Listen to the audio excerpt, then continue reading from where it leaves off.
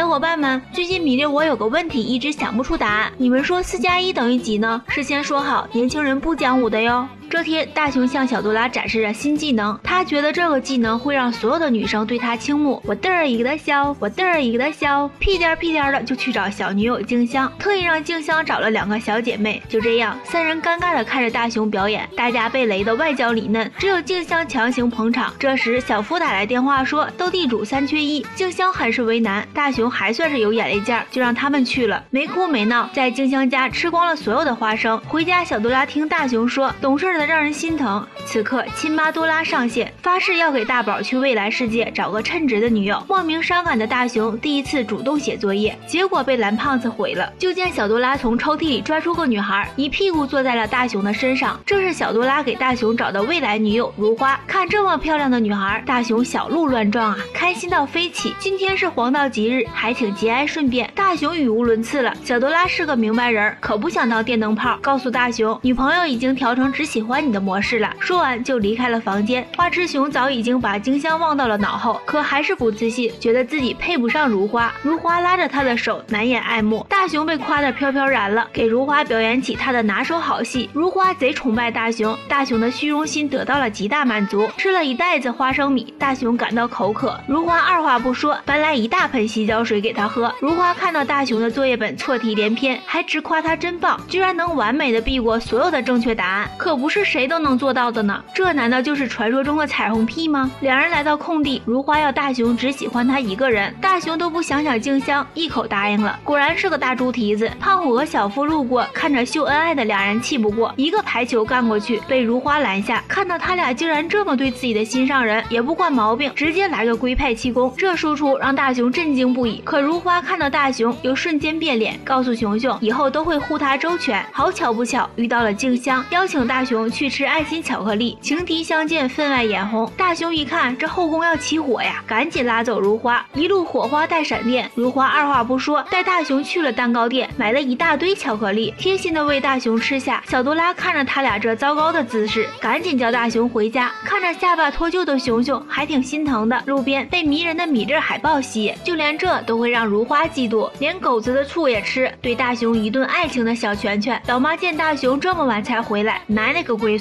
听到这，野蛮女友瞬间上线。此刻的大雄不得不面对婆媳关系问题，还是选择了保护老妈。如花再次磨刀霍霍向婆婆，小多拉赶紧关闭了如花的按钮，危机解除。临睡前，大雄还问小多拉有没有乖巧的机器人，小多拉也很无奈呀，好的机器人租金贵呀。为了好兄弟，小多拉决定豁出去了。隔天清晨，睡梦中的大雄耳边传来勾魂摄魄的声音，不得不说，真的是只有多拉酱才是真爱呀。嘿，小伙伴，今天是你生日吗？米粒祝你生日快乐！